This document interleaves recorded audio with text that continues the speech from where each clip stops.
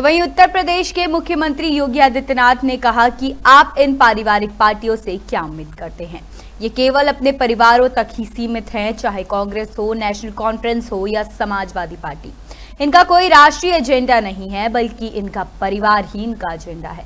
एक तरफ़ यह गठबंधन राष्ट्रीय नायकों का अपमान करता है और दूसरी तरफ़ माफिया और आतंकवादी तत्वों को बढ़ावा देता है।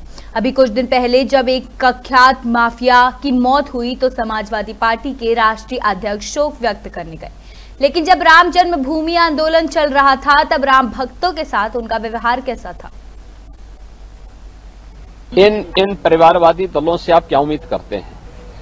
ये केवल अपने परिवार के लिए तक, अपने परिवार के लिए सीमित है?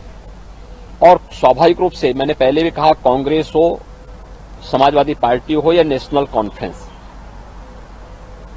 इनका कोई नेशनल एजेंडा नहीं है। इनका एजेंडा, इनका स्वयं का परिवार है और स्वार्थ पर आधारित इनके परिवार का एजेंडा एक तरफ़ राष्ट्र नायकों का अपमान करता है तो दूसरी तरफ़ माफिया और आतंकी तत्वों को ये लोग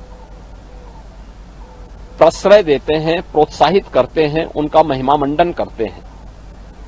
आतंकवादियों को उन आतंकवादियों का जिन लोगों ने अयोध्या में राम जन्मभूमि पर